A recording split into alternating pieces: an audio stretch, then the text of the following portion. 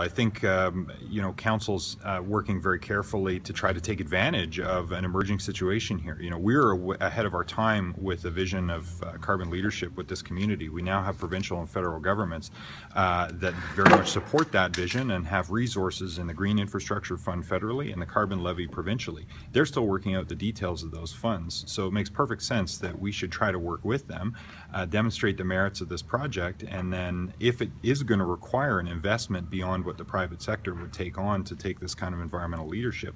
uh, then why wouldn't we take the time to explore with the province and the feds their desire to do it? If they aren't prepared to do it uh, with us at all, if they don't see value with it, then I think council might have to